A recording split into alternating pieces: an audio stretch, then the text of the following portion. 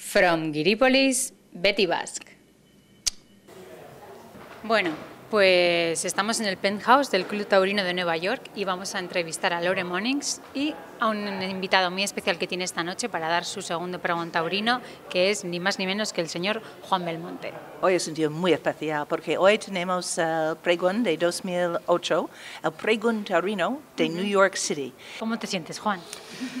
Me siento peor que nunca porque yo he dado muchos pregones en España e incluso en Francia, ¿no? ¿Y lo vas a hacer en inglés o no? Pues no, voy a hacerlo, mira, lo voy a hacer, voy a hacer un poquito en inglés, pero muy poquito en inglés, muy poquito, una deferencia de saludo nada más. You are very important.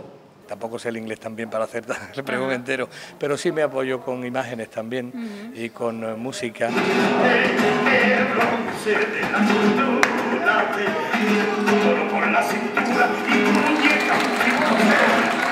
Cosa que quería apuntar importante es que Pamplona ha sido un nexo de unión importantísimo en la difusión de la fiesta fuera de España, ¿no?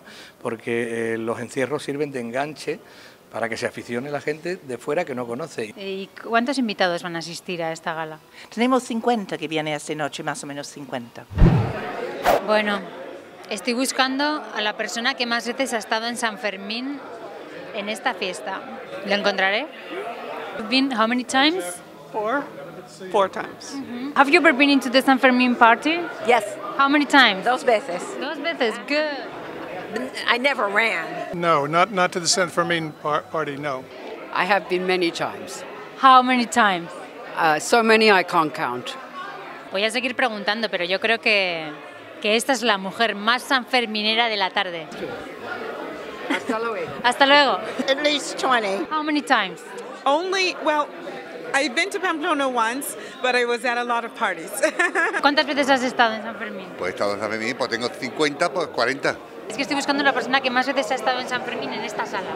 Yo Entonces, seguro. creo que, que igual eres tú. Te ha tocado. Te ha tocado. ¿Quién eres? Bueno, soy la reportera de Cucusemuso en Nueva York. ¿Y luego esto por dónde se emite? Pues en, en- por internet. Por en internet.